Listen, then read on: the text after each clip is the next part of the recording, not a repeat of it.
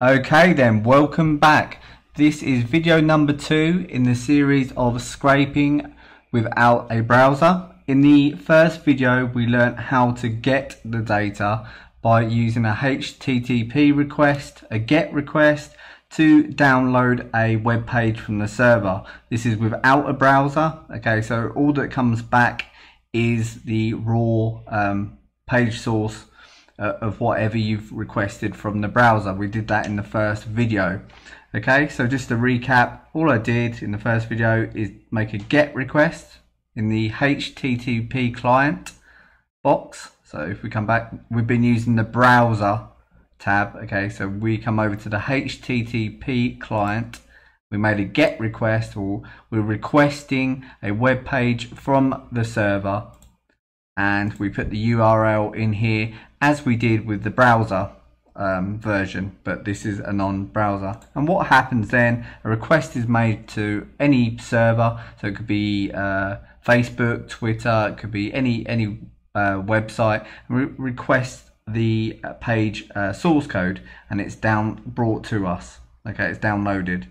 Now what you want to do after that is you use the content feature. So we're still in the HTTP client uh, toolbox and then we go content and we save the content as a variable. So what this is, is the content of the downloaded page, the source code of the um, page that we've requested with the GET request. Okay, so I'm going to leave it as saved content just so it makes sense. And there we go. So what we've done, we've made a request to the server Okay, in this case, in this demonstration, it's twitter.com and it's Adam Baldwin's Twitter profile, you know, just a random profile that I picked out. So we requested the page from the server, it's downloaded the source code, the, the page source, and then we've put that page source into a variable called saved content. Okay, so what we're going to do from here, guys, is we're going to do the first video, and this will be a multi-part video because it's such an in-depth topic, we're going to use um, one method to scrape data, and it's not the only way. As I've said in previous videos, there's more than one way to skin a cat. But if you can get the hang of this, then it's going to open doors. Okay, we're going to scrape the data using a regex. The whole idea behind a regex and it's hot, the whole um, theory and what you can do with it is massive, guys. It, you could spend a lifetime um, on regexes. But in its most basic form, it's a way for us to instruct uh, the bot to um, scrape data within a set parameters. And I'm going to show you that now in its most basic form and we're going to get more in depth with it as we go on. But guys, if you master this, you it's going to lead you to be able to scrape in so much content so quickly. Okay guys, so what I've done here with this get request is basically it's downloaded the source code for this Twitter profile, Adam Baldwin. Okay? And what I want to do is grab his username, his Twitter handle or username or whatever you want to call it, okay, from the page.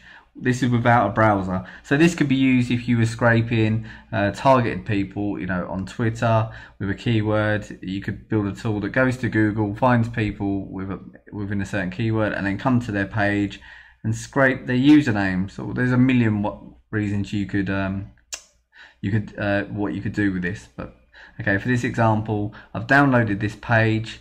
Okay, here's the source code for that page. You can do this with all within BAS, which I'm going to show you in the next video. But just so you can see the screen a bit better, all I've done is come to his profile and I've clicked, right clicked and view source. So here's the source code, okay? And what I want to grab is his username. Now, it's in this case, it's displayed so many times on the page there's more than one way to skin a cat. There's different regexes you could use depending on how you want to scrape it. There's no right or wrong way. Okay, guys, remember that. You could build a regex that got the username from here, or look, there's 132 places on the page where his username is. Okay, um, here would be tempting to grab it. But what I'm going to do guys, just for this video, to keep the first video very simple, is I found his username here. Okay, so it's in the title tag, and then here you've got this. This is on every single um, Twitter page. Um, yeah, it has the parentheses or the uh, the brackets, and then the at symbol, and then the person's username. So lucky for us, um, BAS comes with an inbuilt regex um, expression constructor. Okay, so what I'm going to do when you're building a regex in its most simple form, what you need is the data you're actually looking for. So in this case, it's Adam Baldwin. Okay, and you need something before the data that you want, you actually want. So I'm going to use this, the brackets and the at symbol, and something afterwards. So in this, this case, just the bracket. And you're going to see why in a second. So I'm going to take that information, and over here, to get to this, by the way, guys, if you, you're in BAS, you can just go to Tools and Regular Expression Constructor, okay? And that will that will bring you to this screen okay it will come onto the screen and all you do is click I want to build a regular expression now initially it's asking you to put in uh, look you can just read it yourself but input result together with side text and it even gives you an example okay so in this case I'm going to put in our content which is the Adam Baldwin which is the actual information I want to grab and then either side is a bit of data so that we can make a regular expression. This is in its most simple form, guys. We can spend a lifetime going over regexes and we're going to go in more in depth. But so I've got that information. So I'm going to push, push next and it's telling me now select result. That means the actual information that we want. So within this bit of content, what I actually want to scrape is the Adam Baldwin. Okay, so highlighted that. I press next and it says mark parts of text and convert them to a regular expression. So what it's saying is the stuff on either side that I don't want. Okay, but it's used to build the regular expression because what happens guys whatever we build here it's going to go through the whole um, so the source code of the page and find anything with it that has this data and that'll become clearer in a second so on this side uh, the stuff I don't want is the at symbol and the bracket the left hand side bracket. So click. And this guys is where it gets deep and we're going to go into this in other videos. It's asking you what can it take from the page? And there's so many ways to do this okay? Um, it's asking you. Um, so before the Adam Baldwin, the actual stuff that we want, this text, how many the stuff that we said we don't want, the at symbol and the brackets, is giving us options with that. Could it be um, any symbol? Um, could it be included with digits, white space, and so many options, or the exact te text that we set out for, which is the curly bracket and the at symbol. So we're going to leave it as that because that's that's fine for us. How many times can this occur? So we in this case we just want to see it once. So we leave it on once and we put accept. Now it says select is saying the same thing but the other side of the text we want. So in this case it's just that bracket. So we select that and then it's asking us the same question. We're going to go into detail. We can spend a lifetime on this, guys, and it's a really in-depth subject. Uh, so, but we're going to leave it. It's got to be the exact text that it's looking for, which is the bracket, just one bracket, and we only want it to scrape if it's seen one time within the text. And now it's saying to us, once again, select the text that we actually want. So we want the Adam Baldwin text and it's the same information. Now, we're, we're not going to say it has to say Adam Baldwin. It has to be that or don't scrape it because you could be using this on a thousand different pages for a thousand different usernames and we don't want it to just scrape it if it says Adam Baldwin because every time it's going to be a different username. So what we can do is make it up from these different options I'm going to use any symbol, so it can be anything. Anything that's between uh, the two things we've told it to match against, which is the at symbol and the bracket this side and the bracket the other side. So anything that's in between there, okay, we'll accept. So any symbol, how many times can this occur? Or in this case, how many symbols or um sorry how many letters or how many numbers and we're going to put it's got to be one or more there has to be more than one letter or number in there and then we just put accept and then put next. And here guys is our regular expression. That's all it's made up of. So that's a way for the computer um, sorry the program to interpret when we use a regex expression that that's the data we want. Now what we can do to test our regex is we know that the date is here. Okay so what we can do is grab some of the source code I'm just going to grab some of it. Make sure you obviously grab it that's included in, um, grab a part of the source code that includes the content you're actually looking for. And we can just throw it in here. And it's going to find absolutely nothing. Okay. okay, let's see what I've done wrong here. Okay. Ah, it has done it. Okay, so where have I made a mistake? Let's go back. I'm just going to run through this quickly guys because to see. So select my result okay? I want the Adam Baldwin. Parts of the text I don't want or the what's the anchor either side? So on the left hand side it's the at and the um, the bracket. And then I want it to be that exact text. It has to be that to match. Just one time. This side it's the bracket. Exact match just one time this is the content I actually want. I want it to have any symbol, one or more symbol numbers or letters. I think, oh, match, right. In this case, because there's more than one on the page or similar, I need to use the match as few times as possible. I think that's the problem. Okay, there's that. Press next. Let's put our text back in. And there you go. In that um, content that I just used, it's on there twice, but that's okay, as long as it's on there once. And you can see it's found Adam Baldwin. So what's happened, guys, is used the regex that we've put together previously, and within the source code that we just pasted in here, it's used that regular expression or that set of rules to look for data in here and pull the set data, and it's found what we're looking for, Adam Baldwin. So what we can do now, guys, is take that regex at the top, see here, and we copy that. Let's go back to our our BAS, sorry, our profile, um, our project. And what we want to do now is we come to our toolbox and this time we want to use the regular expression tools. Click there. And in this case, guys, you want to use the option first match.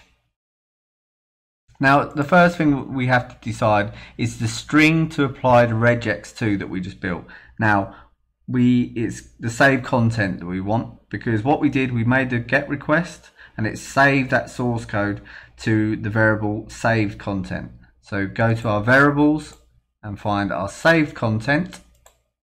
And what's the regular expression we want to use? Or in other words, okay, so the bot saying, look, I'm going to look through that source code and what data am I looking for? So the regular expression we built was I'll just paste it there. Remember we copied it from here up the top here and I've just put it in there. Now the next section is the variable names. So what it's saying is, so the first time that it finds a match, what should I call the variable? What should I save the data to? What should the variable name be? And again for the second and the third time that it finds it on the page. So I'm just going to use one variable and I'm going to call it uh, Twitter user, okay?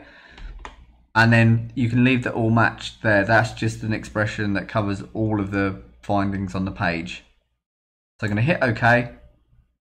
And what I'm going to do, just so we can see that in action, is I'm going to tell it to toolbox and then log on the logger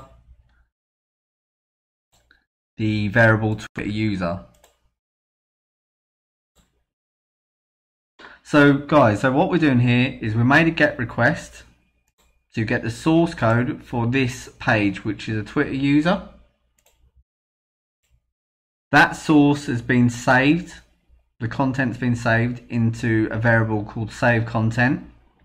We built a regular expression, okay, a simple regular expression to look through that source uh, code and any match that we built for that regular expression, okay, to then save it into a variable. Um, and we called that variable because we only wanted to find the first match called Twitter user, okay, and then to log what it's found. So let's see what happens. So we're going to download the page, the Twitter profile.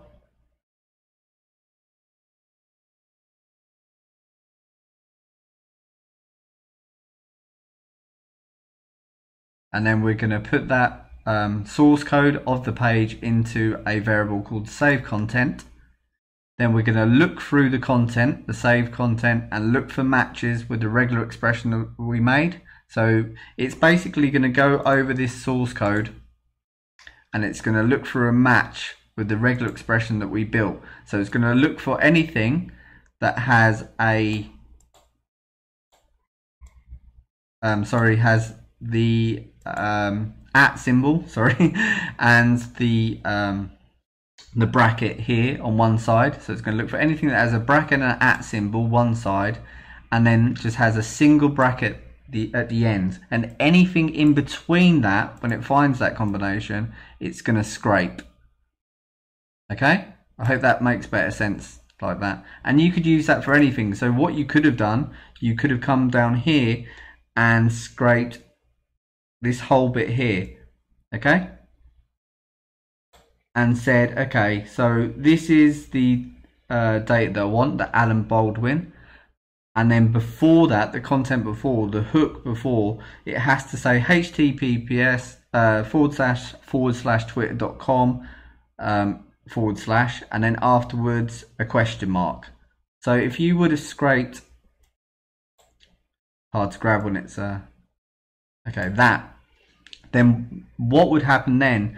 It would look for anywhere on the page where it's got https two dots forward slash twitter.com forward slash and then a question mark and then anything in between that it would scrape. Okay which would be Adam Baldwin. And you could use this on numerous data fields on here. The, the username's absolutely everywhere on this page. So for here you could have done this use this as a regular expression. And then the before data on the left hand side use user line style line. And the after data just a um, what they call quote quotation mark there.